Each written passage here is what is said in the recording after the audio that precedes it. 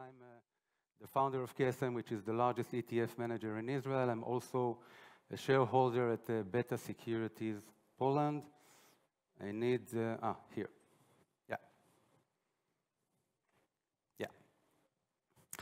In the next 20 minutes, I'm going to tell you a story about one major event that changed dramatically the way the Israeli capital market has evolved. And I hope and believe that you will find it also interesting because in many ways I think that Poles are much more similar to Israel than the, to European Union. After all, I don't know if you know, but uh, many of the Israelis are originally from Poland, so you can look at us like we are Polish, like you, only with a better suntan, but unfortunately less hair. But, uh, okay. Let's start.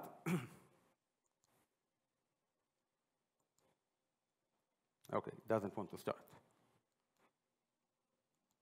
Oh. Okay.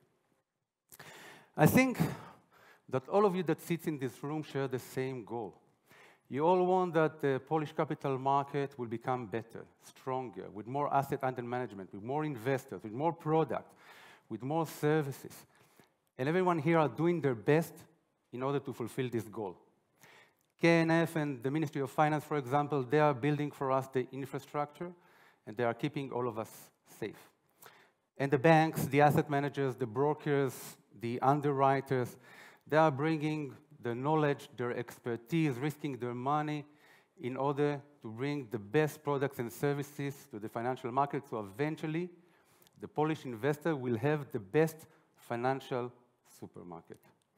But just like I believe you share the same goal, I think all of you also share one major problem. The problem that I think that you are sharing is that the distribution channel in Poland are broken. They are broken because in many cases that I was an evidence to, I think that the distribution interest comes in first place. And when Mrs. Kowalski see that she is not in the first place, she is going to look for alternatives, not just in financial market, in every other market, even yourself, when you're not in the first place, you're going elsewhere. And when I look at the trading volumes of the Warsaw Stock Exchange, I see problem. And when I speak with the young generation of Polish investors, and I see that they're investing a lot of their money outside of the Polish financial market, I see a problem.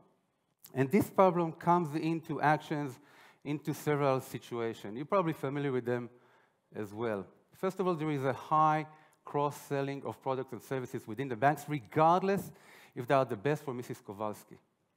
Second, you have very high distribution fees. Something is to, to 60 to 80%. So it's like one of you going very exciting to buy a new apartment, and only afterwards you understand that 60 to 80% of the money that you paid went to the salesperson and not to the, to the constructors. And you have also, I think, a lot of uh, objective advisory system. And that leads, of course, to high management fees, limited only by strict regulation of KNF, very low mutual funds asset, very average based on reports of uh, asset management uh, result, and lack of very important instruments that are relevant for every financial market, like ETFs, like REIT, like uh, VC funds, like dual-listed companies. And I think that eventually what you are suffering from is that instead of having a Polish capital market, what you have here is more like a bank ecosystem or banks capital market. And it's not just me saying that, it's also the NBP and the IMF. More than 80% of the financial assets are held by the banks. And the IMF is conducting a financial development uh, uh, survey every year. And the condition of Poland, this is the blue bars, is all right. But when you segmented it to financial institute, which are the banks, and to financial uh, market, which is the stock exchange, you see the problem. You see that the banks are ranking in a very high place in the position, while the market stays behind. Now you have to understand, I'm not against the banks. I think the Polish banks are great. I think they're doing a great job, and we need a strong bank. This is the base of every economy, and without them, we haven't been here at uh, Bukowina, yeah, not Zakopane, Bukowina. But what I also think that banks need to understand that they brought the market into a place that they need to lose a little bit. They need to let more competition enter to the market.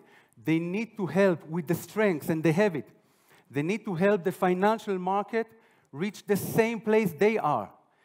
Because if they do so, they, are, they will understand that instead of being big players in a small market, they could become a much bigger player in a much bigger market. It's a win-win-win situation. No one loses in this game if they will do it. And I'm confident of that because 20 years ago, that was exactly the situation that we had in Israel. When you look at our market from the inside, all the ingredients were there. We had great banks, great insurance companies, great asset managers, an operational stock exchange. But when you look under the hood, you see the real picture. And the real picture that bank control 100% of the customers, 100% of the deposit, 90% of the mutual funds, 90% of the pension funds. And in addition to that, they were also controlling the service provider. They were controlling the underwriter, the brokerage, the distribution channels. So eventually, they've created themselves a massive cross-selling system that serves mainly themselves. And, and, I, and I'm not blaming the bank because they are for-profit companies. But what is good for the bank wasn't good for the Israeli capital market because the consequences were, as you're already familiar with that in the Polish market, very low competition. The only competition that we had in our banks is acquiring new customers for the deposit because afterwards, the banks were selling their products to their customers. And I remember the CEO of the banks 20 years ago. I might look young, but I'm older. 20 years ago, when they were talking to one each other and they, they, they were saying to themselves, you know, don't touch my customers, I will not touch yours. Anyhow, we have a lot to do with our own customers. Uh, we had also a, a, very low mutual fund industry because they didn't have any incentive for them to have money of investors within the deposits. It's much more easy and much more money uh, for the bank. We had lack of product, high management fees, all the problems that you are facing. And if I can describe it, it was like a magical circle of conflict of interest that drew the monopoly position of the bank and a monopoly position of the bank that grew the conflict of interest. And it can go like that on and on and on unless the Ministry of Finance of Israel understood that if we would like to take the Israeli financial market to the, to, to the next level, we need to bring more competition for the market. And back in 2004 or 3, they set up a committee led by the CEO of the Ministry of Finance, Mr. Bachar, with the goal of increasing competition, reducing centralization, and reducing conflict of interest. Now, for two years, this committee worked very hard, interviewed every market participant, read a lot of research, and after two years, they came into the following conclusion. Now, I would like to give you a spoiler. This is not exactly what I want to suggest to the Polish market. But uh, I don't know if you remember, there was uh, once a commercial of a Volkswagen double cabin, you know, the, the box car with the title or with the slogan, it may be ugly, but it gets you there. This is exactly how I see the reform in Israel. Maybe it wasn't the cleanest one, but it gets us there. So the first recommendation of the committee, which was very hard, they decided or they recommended that in order for us to increase competition, to create an objective advisory system within the market, we need to separate mutual funds and pension funds from the bank. We need to force them to sell them to other parties. The second thing they've recommended, very cleverly actually, they understood that the problem of the high management fees are not the management fees, it's the distribution fees. And you're also familiar with that. So they recommended to cap distribution fees. And the last thing that they recommended is that every bank should be forced to create its own objective advisory system that will be used in every transaction and will be documented. So financial advisor can do whatever they want, but they have to document and say why they suggested for the clients to do this and that and not according to this advisory system. Of course, the banks, and excuse me for a minute,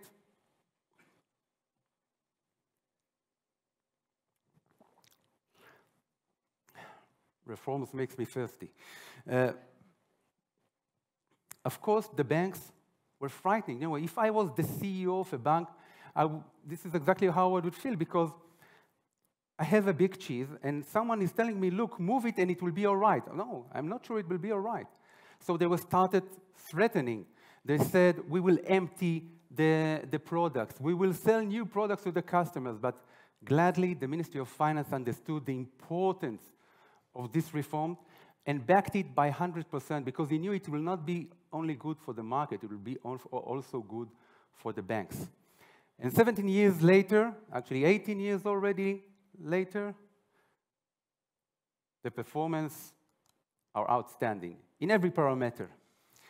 If we're talking about uh, centralization, it was reduced from 90% to 60%, and there are different entities today. If, if 20 years ago banks controlled pension funds and, and, and, mutual funds, today we have different players that are controlling mutual funds and pension funds and with less centralization. Management fees were cut by half, not because we made a regulation like you did on management fees, but because we kept the main problem. We kept distribution fees. Returns of the Israeli asset managers are among the best in the region in every parameter. And what about your financial supermarket, the stock exchange? I mean, our financial supermarket, it eventually fulfilled its job to bring the best services possible for Mr. Cohen, which is the equivalent of Mrs. Kowalski in Poland. And it uh, improved in every parameter. Corporate bond market, which is so important for the growth of the economy, grew from 10% to 40% uh, of, the, of the bond market on Tel Aviv Stock Exchange. The free float, which provide liquidity, grew from 50% to 70%. The participation of institutional, and you have to remember, they have alternative, like in Poland. They can trade in New York Stock Exchange. Their participation is, uh, grew from, 70, from 50% no, grew by double, sorry. And individual investor also, and you can see the number, uh, grew the number of accounts that are linked to the Tel Aviv Stock Exchange from 20,000 to 700,000. Now, Israel is a small country. We are not, we are one quarter of the Polish invest, uh, investment, uh, Polish market. And the last thing new products were starting to enter into the, into the market because now, when the interest of the client is in the first place, we can bring everything that can make good for the client. It could be index fund, ETF, uh, REITs, uh, VC fund, you name it. And that is actually what's happened in Israel, and I would like to come back to Poland. Ah, before that, okay, one thing that I, am missing. You remember about the banks, you know, the poor banks that were frightening, and I, I cannot blame them? Well, eventually, 17 years later, the value of the banks in Israel grew by four times with, while keeping the return on equity between 12 to 15 percent. It's a lot. As, as I told you at the beginning, instead of being big player in a small market, they became big player in a much bigger market that put Mrs. Kowalski in first place, in first interest. And as I told you, it's a win-win-win situation. No one loses in the Israeli market, and I believe that no one will lose also if you will do the same in Poland. And going back to Poland right now, look, I'm taking again the target that the KNF uh, as a state, I believe this is the target of each and every one of you. And I've added something uh, additional which is important, and I know I'm repeating it again and again and again. You need to understand investor in first place. If, if they will not be in first place, maybe not this year, maybe not in two years, they will go elsewhere. They have interactive brokers, they have other brokers, you know. You have a competition. It's not a, a closed garden. So based on those two targets, and based on our reform, I would like to suggest you two things out of this uh, reform. Of course, there are many other things. We can make a, a, a, whole day discussion about that, but I'm taking only those two things. And those two things are limitation on distribution fees, and creating an objective advisory system. And in order to show you how it could look like, I made a little calculation. This is the way distribution fees are capped in Israel. Okay, uh, 35 basis point on aggressive uh, products, 10 basis point on uh, less aggressive products. So I took the total TFI asset as of today, which is a low. I think it could be double, but let's take it as of today and calculated how much banks will earn uh, from distribution fees uh, And it came down to more than 300 million zloty a year, which is something like 25 basis points out of AUM, which is very reasonable. You know, I'd be glad paying for my advisor, for my salesperson, those 25 basis points, because he, he, he, needs to earn them. He's making a service, but at least it's reasonable. It's not like what's happening today. The second thing I would like to suggest to you is to create an objective advisory system, and I've segmented it like in the army. You see a lot of soldier outside, uh, into three segments. The first one, maybe you have it, maybe you don't. Uh, I think that every bank should create for itself an objective advisory system, both quantity and quality. So it will be the base of every transaction for financial advisors, for, for, for clerks. This is the first thing. The second thing, and I know that it's, it's there, but I think you need to have a little bit more strict uh, uh, observation. I think that the KNF should, should have a strict regulation both of financial advisors and also on bank branches, which means that in every financial transaction, uh, they will be there. And the last thing that I would like to suggest, you remember that in the Israeli model, the bank were forced to sell the mutual fund and the pension fund, which is very aggressive. I haven't seen something like that all over the world. So what I think I can suggest to you is do the following and it is to create a Chinese wall between the banks and the products. So bank can hold the mutual fund and pension fund. It's okay, you know, you have the power, you have the knowledge, no problem. But the way the distribution in the banks will treat their own TFI, their own pension fund, will be the same as they are looking at InPZU, Skarbiec, Investor, Beta, whatever. This is the way banks will continue controlling whatever they would like. They will have the power, but they will compete in a fair play, in a fair play of a Poland capital market and not of bank ecosystem. And the last slide is something maybe to think about. You know, it's, it's very nice thinking about seven years. Uh, we don't know, maybe the world can turn around seven times until that. But I believe and again, best of the experience that we had in Israel, that if you're succeeding in doing those reforms, and maybe some others, you know, I, have many ideas based on the Israeli market because the Israeli market is, is definitely very successful, uh, and I think we can learn out of it a lot. I think that uh, in, 2000, in, in 2030, uh, if you will do so, Polish investor will be in your first interest Warsaw Stock Exchange and Warsaw and Poland Capital Market will be a regional leader. You have the power, you have the knowledge, you have great people here. You know, I'm, I'm in, in Poland for the last four years. I see how magnificent are your, are your, is your country, uh, how well educated uh, you, and how enthusiastic you in order to, to make this uh, market uh, progress. So I believe you can do it. And remember, and this is the way I will sum my presentation, remember what I said at the beginning, don't be afraid of opening the market for more competition. I know at the beginning there is an uncertainty, but I can tell you from my experience, you will not lose. It will be a win-win situation. It will be a win for the regulator, a win for the investors, and a win for the whole capital market. Thank you.